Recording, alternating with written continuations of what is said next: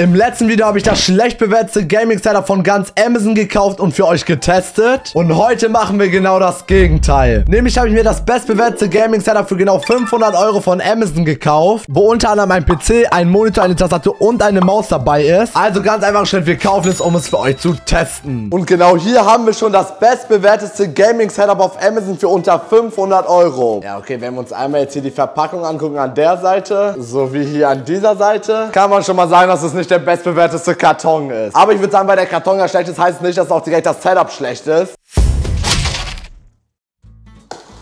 Und ich würde sagen, erster Schritt, die Tastatur überhaupt rausnehmen. Also man kann tatsächlich wirklich sagen, es sieht nicht aus wie eine Standard-Büro-Tastatur, sondern ist wirklich relativ leicht und sieht schon ein bisschen gaming-mäßig aus. Und anhören tut sie sich auch relativ gut.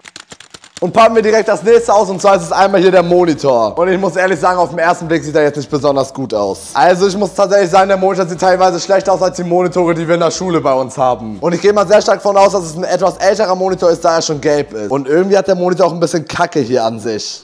Stinken tut's aber nicht. Bei den Anschlüssen können wir beobachten, dass der Monitor nicht mal einen HDMI oder einen DisplayPort-Anschluss hat. Also wirklich, der Monitor ist extrem alt. Dann haben wir einmal nochmal den Monitorfuß. Ja, was soll man sagen? Irgendwie ein standardmäßiger Monitorfuß. Dann haben wir nochmal den Standfuß vom Monitor. Wahrscheinlich noch das Monitorkabel. Und hier drin soll tatsächlich eine Gaming-Maus sein. Bei den meisten Gaming-Setups, die wir so fertig auf Amazon gekauft haben, gab es bisher immer nur so Büromäuse und Bürotastaturen. Dieses Mal haben wir wirklich eine relativ gute Tastatur bekommen und auch wirklich eine sehr starke Maus. Von der Tastatur und von der Maus bin ich sehr positiv überrascht. Machen wir aber weiter mit dem Wichtigsten in diesem ganzen Paket, nämlich ist das der Gaming-PC. Und ja, dieses Mal ist es auch wirklich ein Gaming-PC und kein Standard-Büro-PC. Zumindest stand das auf Amazon so. Machen wir das gute Teil hier einmal auf. Direkt schon mal positiv aufgefallen, der PC ist überhaupt in Polster eingepackt. Das war tatsächlich beim letzten Mal nicht so.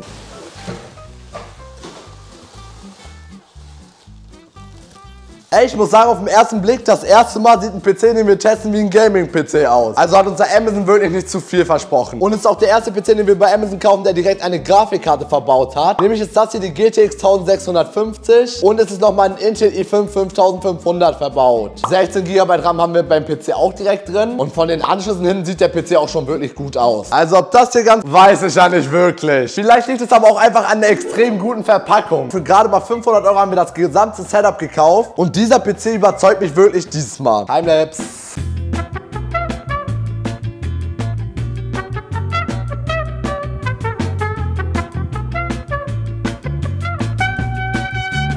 Maus und Tastatur sieht wirklich perfekt aus. Der PC sieht auch super aus. Monitor ist so eine 2 von 10. Aber Aussehen ist natürlich nicht alles, sondern die Leistung zählt. Bevor wir aber direkt in eine Runde reingehen, müssen wir überhaupt ausrüsten, in welchem Modus wir dieses Setup in Fortnite testen. Go!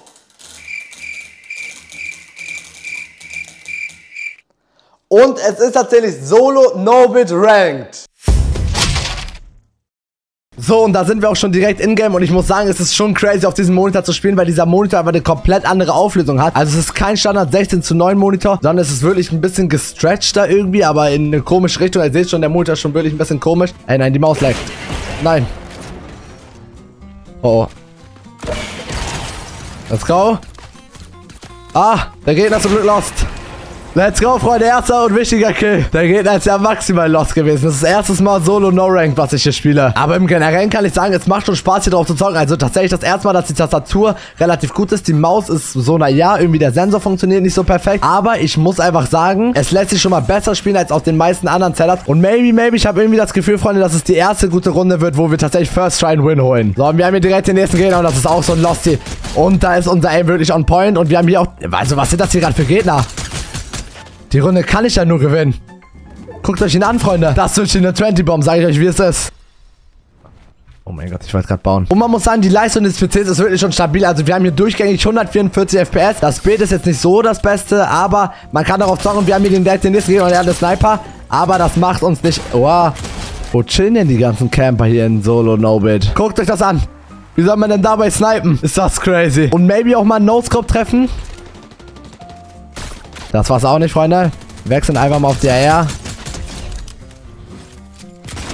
Ah, perfekt. Der Setzenet hat einfach schon gereicht. Wir müssen ihn mit der Sniper holen, Freunde. Das ist die Challenge jetzt. Let's go, Headshot Snipe. Wenn der Multi noch ein bisschen besser wäre, dann hätte man hier wirklich für 500 Euro schon ein sehr, sehr, sehr starkes Setup bekommen. Was machen die Gegner denn? Die Team einfach. Jetzt schießen die auf einmal auf sich. Die sind einfach zusammengelaufen, Freunde.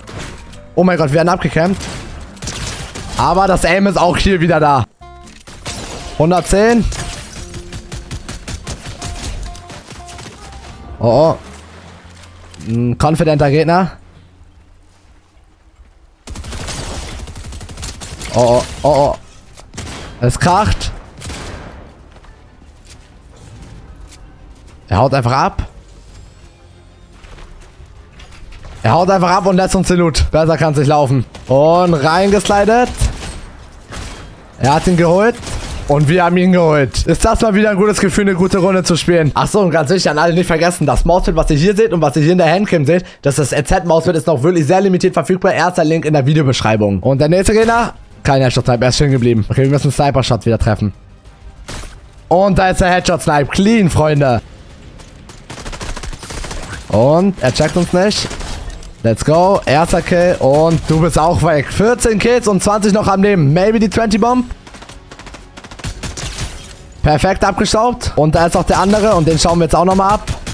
Wenn wir halbwegs okayes Aim hätten. Okay, geil, wir snipen den. Let's go. Hier unten sind schon wieder Gegner, Freunde. Wir steigen aus. Wir treffen keinen Headshot-Snipe. Aber wir müssen ihn ausstauben. Nein, er ist One-Shot. Bitte stauben ihn uns nicht ab.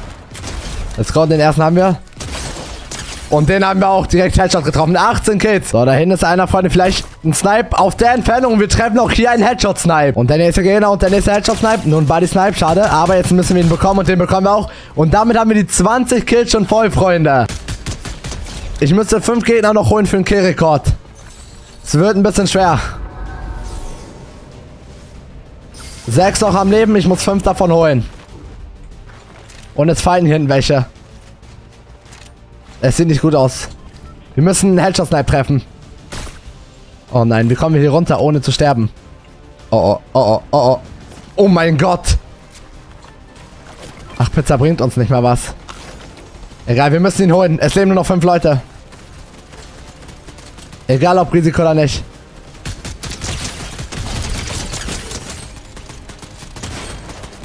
Wir haben beide geholt, wichtig. Drei Gegner noch am Leben. Ich muss alle Gegner holen. Und hier ist der nächste Gegner. Er will uns auf Entfernung fighten. Der Gegner ist gut. Oh nein. Es hört bei 23 Kills auf, Freunde. Das war unser Endgegner. Und kommen wir jetzt nochmal zum Fazit des Ganzen. Und zwar muss man sagen, für 500 Euro war dieses Setup wirklich brillant. Sowohl die Maus als auch die Tastatur haben wirklich perfekte Leistung abgeliefert. Der Monitor war schon wie zu erwarten wirklich nicht der beste. Und der PC hat wirklich eine extrem gute Leistung abgeliefert. Vergesst aber natürlich nicht, jetzt den Kanal zu abonnieren, das Video zu liken und die Glocke zu aktivieren, um kein weiteres Video zu verpassen. Und genau hier findet ihr das Video, wo ich das schlecht bewerteste Amazon Gaming Setup teste. Also klickt drauf.